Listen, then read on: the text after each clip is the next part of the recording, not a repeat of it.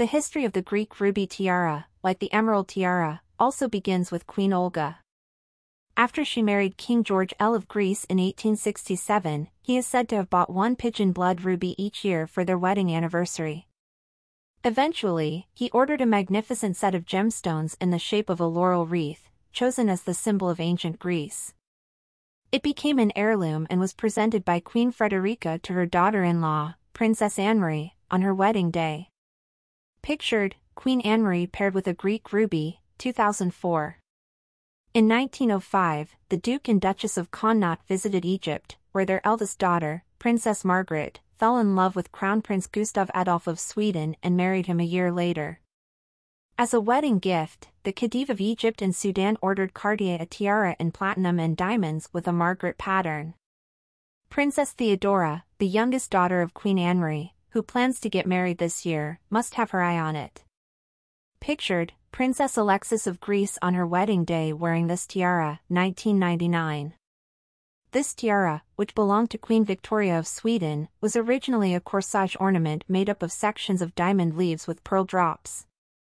Her granddaughter Queen Ingrid of Denmark inherited the piece and turned it into a tiara for her daughter Princess Anne-Marie for her 18th birthday. The diamond pearl heirloom is a family favorite and was lent to Marie Chantal, Tatiana Blatnik and Nina Flor to wear on her wedding day. Pictured, Princess Tatiana wearing an antique corsage tiara, 2013 The Miller Fringe Tiara is relatively new to Greek royal jewelry vaults and was reportedly purchased at auction by Crown Princess Marie Chantal's parents. The classic design with its diamond fringe mimics the headpiece of a kokoshnik.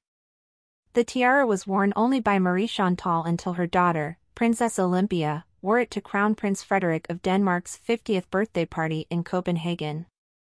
The tiara was rumored to have been given to the princess for her christening by her grandparents. Her mother wanted to wear it until Olympia reached the age of 18.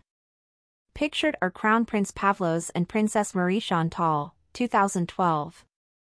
The jewels that make up the Greek emerald parure were originally given to Grand Duchess Olga, granddaughter of Nicholas I, when she married King George I of Greece at age 16.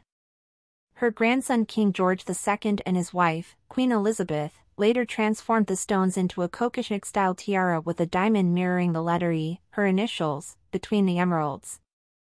Queen Frederica of Greece wore a brooch from this set to the wedding of Princess Elizabeth and the Duke of Edinburgh in 1947 and, in turn, gave it to the 18-year-old Princess Anne-Marie, who wore the tiara in her first official portrait before her wedding.